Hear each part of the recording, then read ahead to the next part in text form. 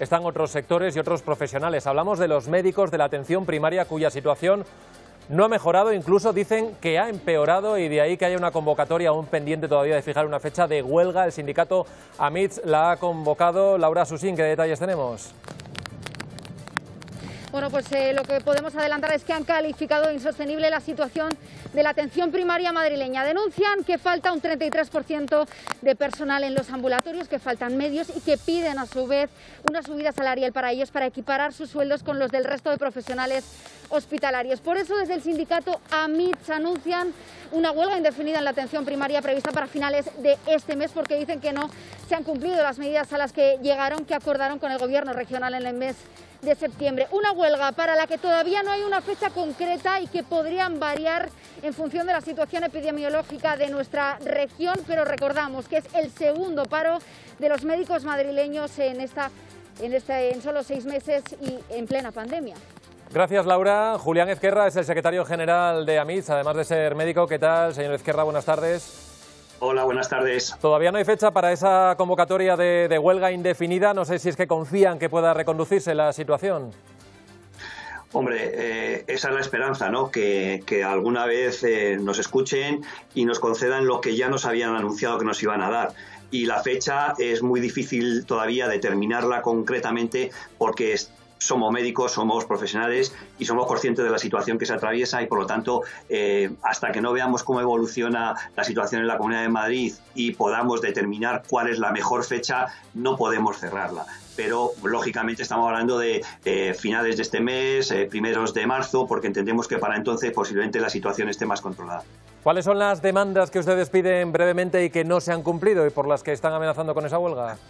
Pues esto es, tan sencillo como que la presidenta Díaz Ayuso, que a consecuencia de nuestra convocatoria primera ah, anunció un plan integral un plan integral de, atención primaria con mejoras que ella misma anunció, nos propuso, incluso eh, hizo públicas en la Asamblea de Madrid, se cumplan.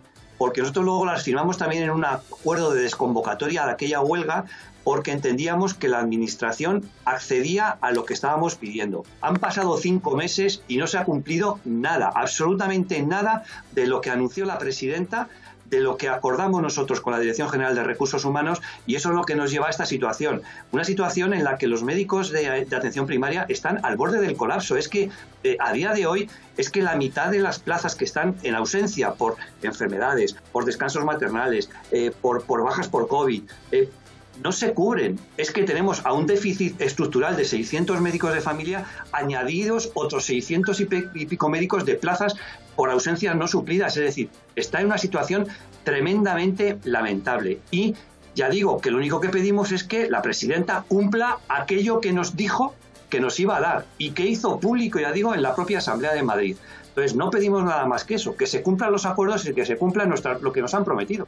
¿Cómo es un día a día ahora en un centro de salud? Me imagino que habrá diferencias, no sé si todavía hay alguno de los que hemos hablado en las últimas semanas y meses que siguen cerrados. ¿Cuál es el día a día al que se enfrentan los, los eh, trabajadores, los médicos que están en los antiguos ambulatorios, los centros de salud? Pues esto, esto sigue igual, es decir, con unas plantillas muy mermadas, con muchas ausencias de profesionales, son eh, muchísimas las consultas que hay que atender, 60, 70, 80, 90 consultas diarias, entre consultas telefónicas, presenciales, avisos a domicilio, urgencias, rastreo.